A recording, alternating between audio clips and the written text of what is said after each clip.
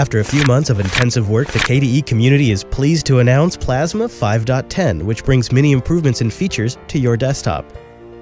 Due to the popular demand, we've changed to folder view as the default desktop, which allows users to put whatever files or folders they want on their desktop.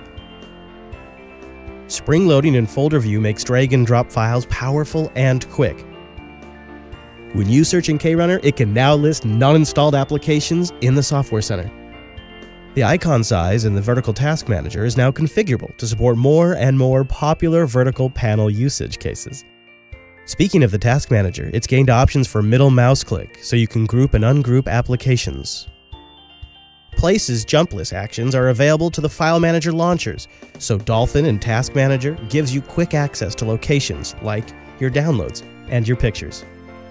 The audio volume applet has a handy menu on each device, which you can use to set the default or switch the output to a different port.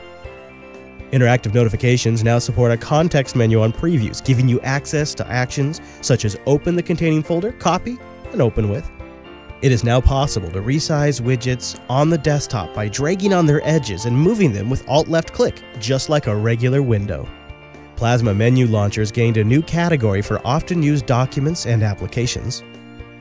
Lock screen has gained support for media controls, so you can switch between your favorite songs without the need to unlock your desktop.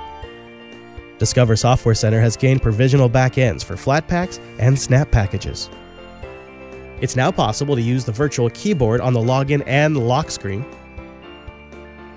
If you enjoy using Plasma, please consider donating to KDE so we can work together to continue to make the best free software possible.